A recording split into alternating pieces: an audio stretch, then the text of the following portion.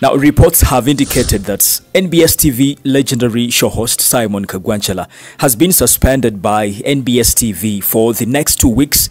And uh, this is because he recently hosted Mathias Mpuuga's Thanksgiving ceremony in Masaka. Sources have indicated that uh, Kaggwa Njala breached the station's ethical guidelines, which requires its workers to be non-partisan. Now, over the weekend, there was a lengthy senior management meeting uh, chaired by Kin Kariisa, the executive officer of Next Media, and they concluded that the guy be given a suspay of two weeks.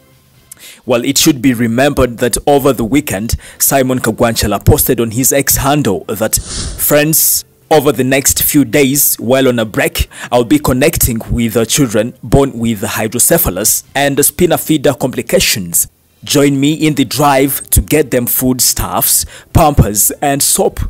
They too long to share the joy of living with us. I thank you. However, the truth is that Simon Kaggwa Njala has been suspended for the next two weeks. Well, it should be remembered that Kaggwa Njala has been very active on social media, attacking those pouring attacks on the former leader of opposition in parliament, Honorable Mathias Mpuuga. He becomes the second prominent media personality to be suspended by the same media house after Zahara Toto, who has since left the station. Simon Kaggwa Njala joined NBS TV in 2011 as the host of the Morning Breeze talk show, and he's one of the most prominent media personalities we have in the country. Yes, so that is uh, the latest coming in from uh, Simon Kaggwa Njala's camp. And uh, don't forget to subscribe and also tap on the bell for all the notifications. You can also follow me on TikTok, uh, Melads Milo, aka Fula. Bye for now. Thank you. Hi everyone, my name is Anita, manager Palm Hotel.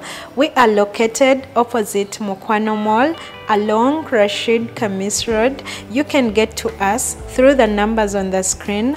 We have very affordable accommodation, free internet, DSTV and more other offers. You can follow us on all our social media platforms. We are Palm Hotel.